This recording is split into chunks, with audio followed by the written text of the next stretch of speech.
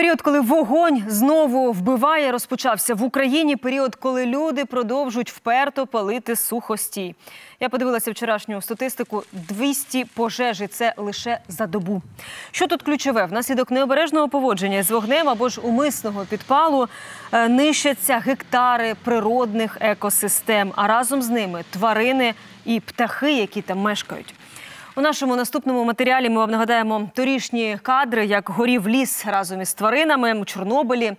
Видовище, звісно, не для людей з слабкими нервами, але на жаль, як свідчить практика, навіть такі кадри для паліїв зовсім не аргумент. Але бодай про безпеку ж власних садиб вони можуть подумати або про своє життя та здоров'я. Адже нерідко вогонь з сухостою перекидається на житлові будинки, перекидається на господарчі споруди і просто гинуть люди. Тобто самі палії стають жертвами. І людей вже навіть штрафами не зупиниш. Усім пригрозили більше 150 тисяч гривень за порушення, але зараз людей це не лякає.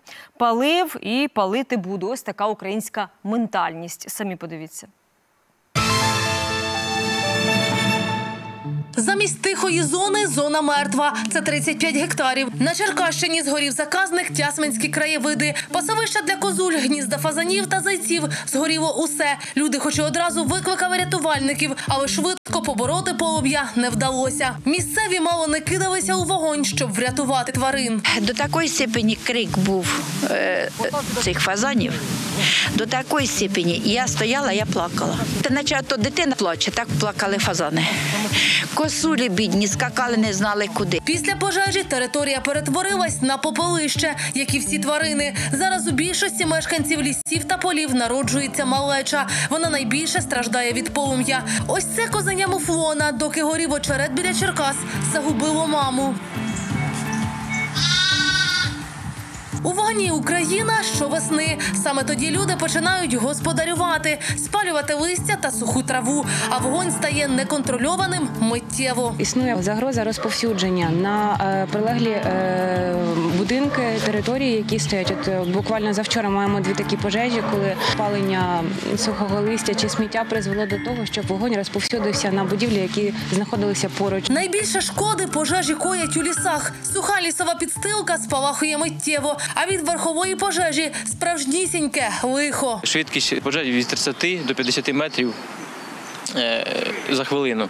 І просто температура горіння, і це ну, зупинити його за допомогою пожежних автомобілів це нереально. Потрібно бути якісь природні е, бар'єри, які зупиняють цю пожежу. Саме верхова пожежа торік знищила частину рудого лісу біля Чорнобиля. Тоді рятувальники працювали два тижні. Рідкісні тварини, зокрема коні Бржевальського, чимдуж тікали від вогню, а врятувавши життя, бродили з гарищем. В общей сложности мы прошли где-то порядка 15 километров.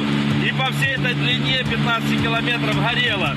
На Харківщині торік згоріли більше 400 гектарів лісів. А це Луганщина. Вогонь тут знищив більше 20 тисяч гектарів території. Постраждали 32 населені пункти. Загинуло 11 людей. Ще півтори сотні евакуйовані. То, що корови були в полі, так би і корови погоріли. Вітром плам'я понесло на середину города. Вітер утих і все впало.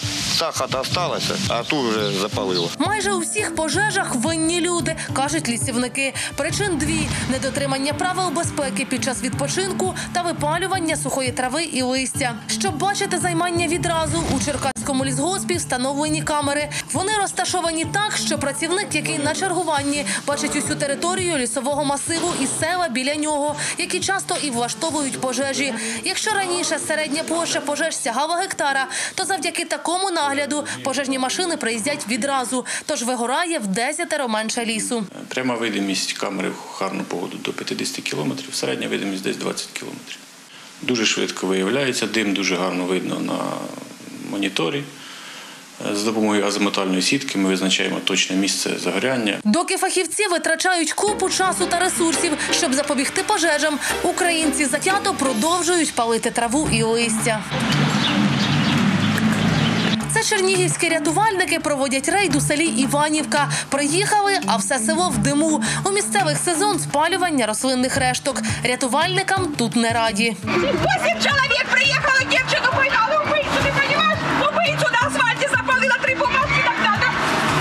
розуміють масштаби лиха люди. Рятувальники так і не допиталися.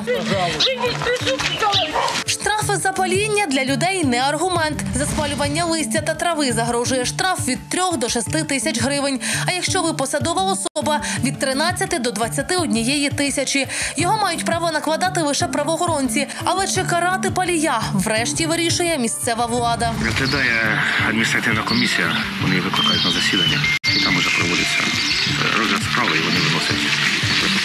Зараз щодня в Україні трапляється більше двох тисяч пожеж в екосистемах. Рятувальники нагадують, якщо вогонь став неконтрольованим, треба не панікувати, а терміново телефонувати 101. Доки чекаєте пожежну команду, не стійте під палаючими деревами. Не треба тікати від вогню, а краще закрити обличчя одягом і подавати крайку вогню проти вітру. Гасити полум'я невеликих низових пожеж можна самостійно, наприклад, забиваючи його гілками, обов'язково із листям. Про воду всім відомо. А ще можна закидати вологим ґрунтом або ж затоптувати ногами. Великі пожежі часто не вдається загасити навіть за допомогою пожежних рукавів.